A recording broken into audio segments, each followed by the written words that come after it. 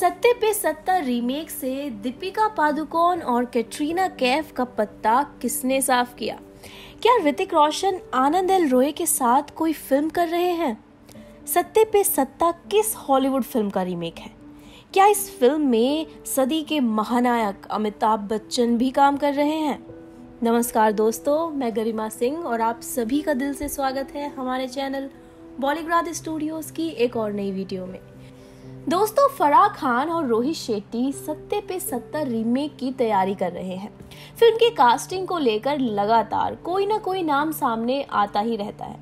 Film के लिए शाहरुख खान, दीपिका पादुकोण, कैटरीना कैफ के नाम तो सामने आ चुके हैं, लेकिन अब फ़िल्म के लिए ऋतिक रोशन और कृति सेनन का नाम फाइनल माना जा रहा है।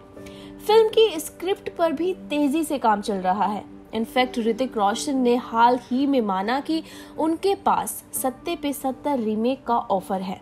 लेकिन अभी उन्होंने अपना अगला प्रोजेक्ट तय नहीं किया है।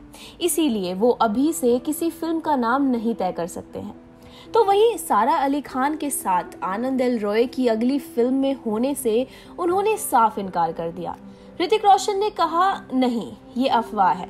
आनंद एल रॉय ने फ़िलहाल मुझे किसी भी फ़िल्म के लिए अप्रोच नहीं किया है। सत्य पे सत्ता रीमेक की बात करें तो फैंस इस फ़िल्म को लेकर बेहद एक्साइटेड है। इस रीमेक को फराह खान डायरेक्ट करने वाली हैं।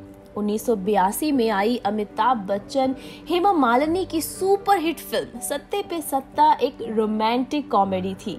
ये सात भाइयों की कहानी थी और मुख्य तौर पर ये फ़िल्म भी Hollywood film seven brides for seven brothers की रीमेक थी।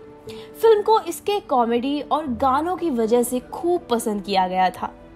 दोस्तों, अब जब इस सुपरहिट फ़िल्म का रीमेक बनने जा रहा है तो क्या अमिताभ बच्चन भी इसमें काम कर रहे हैं?